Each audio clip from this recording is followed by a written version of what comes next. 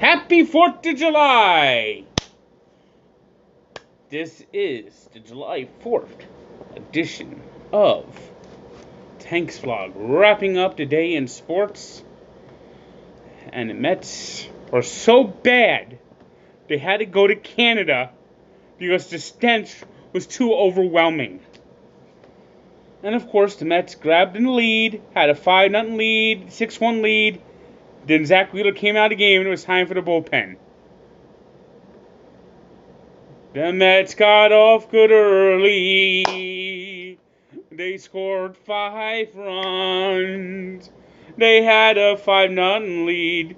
Then it was 6 to 1. Zach Wheeler was cruising, but his pitch count got too high. Our Miranda manager called on the bullpen. He brought in Swarzak, who stunk up the joint. Then he brought in Gsellman, who gazucks again. The season's a nightmare. The Mets lost again. It was another bullpen meltdown.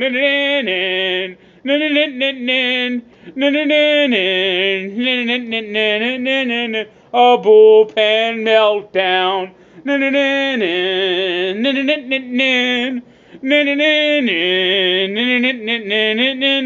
The season's a nightmare. It's never gonna end.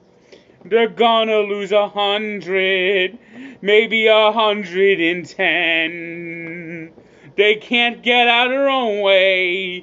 When they pitch, they don't hit. And their manager's an idiot. It's a bullpen meltdown.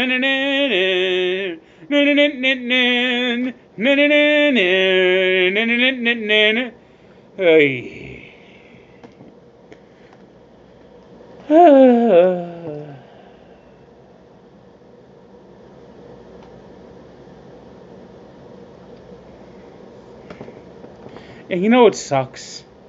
You know what really, really sucks? Is the Nationals are not a good team. They were beatable. Tanner Roark is now 3 and 10. The Nationals are 500. Bryce Harper can't hit his way out of a paper bag. They got bludgeoned by the Boston Red Sox 11 to 4 in Washington. Red Sox are on pace to win 108 games. Yankees on pace to win 107. I mean, woof. Right now, you got the American League's got four teams right now. The, the, the Indians are sort of like the sneaky fifth team right there in the easy division, just cruise control, going to win the Central. We already know who the five playoff teams in the American League are. We already know. I mean, maybe the Mariners could collapse. Someone could catch the Mariners. But Yankees are in. Astros, Red Sox, Indians. And good for the Mariners. This will be the first time they made the playoffs since uh, 2001. That leads the Cleveland Browns. Ding! As the who that would lead the Cleveland Browns is the team with the longest drought in all of sports. Uh, but and of course the Yankees they got a nice win today. They they they actually almost like the Mets. They they had a five nothing lead that almost got away, but the Yankees were able to hold on. Uh, as uh, Giancarlo Stanton gave him some breathing room, allowing uh, Aroldis Chapman to get the save without much pressure in the ninth. Elsewhere, the Cubs beat the Tigers 5 3. The Brewers beat the Twins 2 0. It was the Phillies 3 2 winners over the Orioles. The White Sox beat the Reds 12 8. Battle of Florida saw the Rays beat the Marlins 9 6.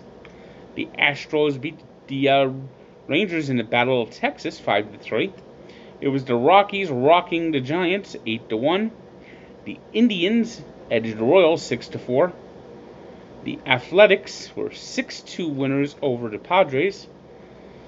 The Diamondbacks were 4-2 winners over the Cardinals. Mariners beat the Angels 4 1 as Shohei Ohtani made his return and went 0 4 4. And the surging Dodgers beat the Pirates 8 to 3. In Russia, it was a Scandinavian showdown as Sweden beat Switzerland 1 0 to reach the quarterfinals. Then it was three Lions. England. One nothing lead, trying to hold on, trying to hold on, and they got tied in injury time. And things started looking bleak for England as Colombia had a 3 2 lead after making a save in the PKs. But then, then, wouldn't you know it? The Colombia guy missed the kick. He hit the crossbar, giving England new life. England with the new life ends up tying the PK, made a big save, and winning it 4 to 3 to advance. Harry Kane once again scored another big goal, and England, they're looking really good. They're looking strong. I'm tired of these bullpen meltdowns. I honestly am. Been a total nightmare. This season's been a total nightmare for the Mets. Well, anyway, our three stars are Antonio Senzatela of the Rockies, who didn't allow a run in seven innings while allowing just three hits. Avisail Garcia of the White Sox, who at three for six with two home runs. And Harry Kane, who continues to lead the way for England in the World Cup.